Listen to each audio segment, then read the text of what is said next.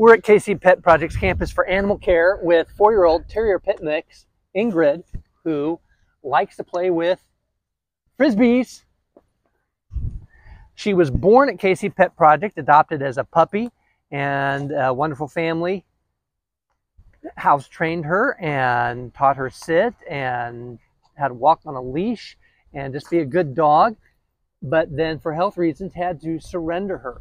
So she already knows the routine of living in a household with people and she gets along with other dogs. So if you have dogs in your pack, they would need to come to the campus for animal care for a meet and greet to make sure they're compatible with Ingrid.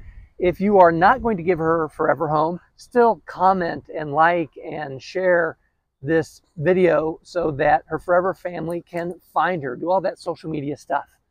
Do I need to toss it again? She does come with a Rosie Life starter kit, which has a lot of the items she needs to get settled into her forever home, like a collar and a leash and treats and toys and a $350 Bigfoot Pet Photography gift certificate. So Claire can, uh, Claire can, Shelley, Claire Shelley can, those are the words I wanted to use in that order. Claire Shelley can capture the personality and essence of this great dog once she gets settled into her forever home.